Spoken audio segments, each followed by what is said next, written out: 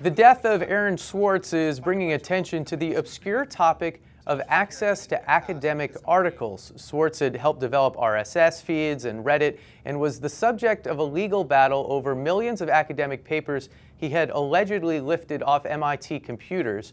One response to the suicide of the 26 year old prodigy is a Twitter campaign with the hashtag PDF Tribute to post academic works for public consumption. The idea for it came from Eva Vivalt, who now joins us uh, by Skype from Hong Kong. Why did you create this? What were you hoping to do by creating the hashtag, which now has become quite popular? Well, I didn't have any idea it would become this big, but I'm very glad it has. Basically, I was really affected by hearing um, about Aaron's death. And I thought it was completely obvious that people should be sharing their papers. And so I immediately uh, went ahead and uh, pledged to share my own papers. And I started tweeting this at people because I wanted to encourage others to share their papers as well. Um, pretty early on, I got a response from Jessica Richman, who suggested adding a hashtag. Um, I shortened this hashtag and uh, it became PDF tribute. And we both kept on tweeting to people after that, and it just grew from there, really.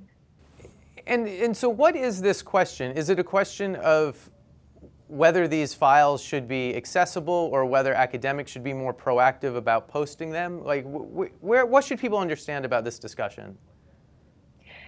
It's really about open access to knowledge. I mean, if you think of music sharing, you might be a bit more on the fence about that, but academic papers really seems a bit more fundamental.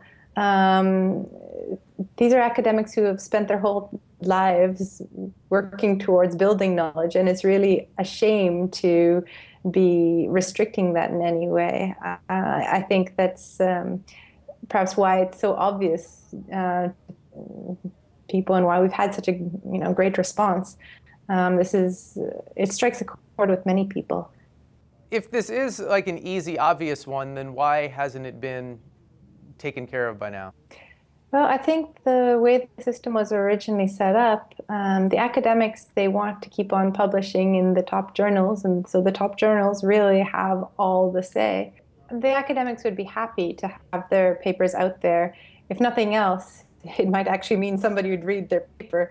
Um, but um, it's really the journal owners, um, JSTOR, um, Elsevier, who, are maybe the worst offenders here. Is there, I know you're on vacation, you're thousands of miles away, so it's hard to be like right on the, the pulse of this. But is the sense that the last few days is changing this debate and that we might have a different outcome than we wouldn't have had if there wasn't this public airing of this issue? Well, I'd like to think so. Um, it's been really incredible, the response so far. I think right now I just checked and we were at 70 million impressions. Um, 32, 33,000 tweets. It's going up exponentially. I hope that, you know, the momentum will continue to take it forward. I mean, we'll see, but it's, you know, been going in a good direction. So I hope this conversation will you know, yield some actual results and not just be, you know, a one uh, Twitter hashtag phenomenon. Okay, something you started just 48 hours ago already uh, catching fire. Uh, good luck with the project. Thanks for taking some time. Thank you very much. Thanks.